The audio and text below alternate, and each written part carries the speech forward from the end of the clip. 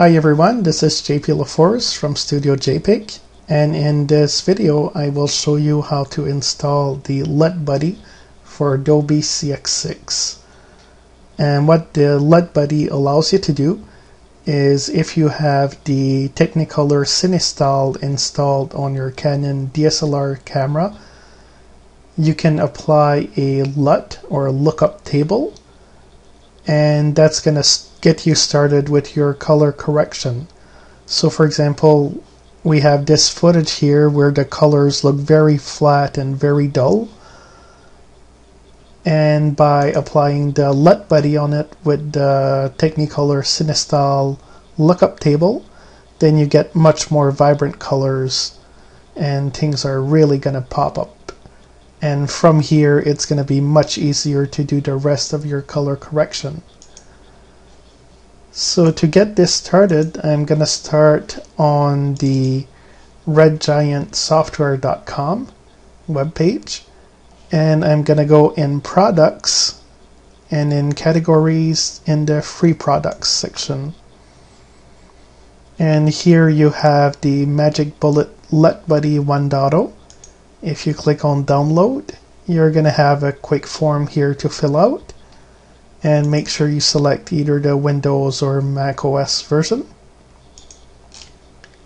And then after you submit it, you're going to get the link to download the file, which is the mblb winfull.zip if you went for the Windows version. And from here, you're going to find different folders. You have the Adobe CS4 and CS3 Adobe CS5, Adobe CS 5.5, and then a help folder. Unfortunately, there is no Adobe CS6 folder, but that's not important, and I'll show you why. If you go in the CS5 section, you're going to have the installer here, and after it's installed, you're going to be able to find it in this folder here. It's in the C program files, Adobe, Common, Plugins, CS5, Media Core, and then finally the Magic Bullet LUT Buddy. So you can right click it and copy. Then you're going to go back to the plugins folder in CS6 Media Core and you're going to right click and paste it here the next time that you open Adobe Premiere or After Effects, you can go in the effects here, type in LUT, and you're going to see the LUT Buddy in the Magic Bullet Colorista folder here.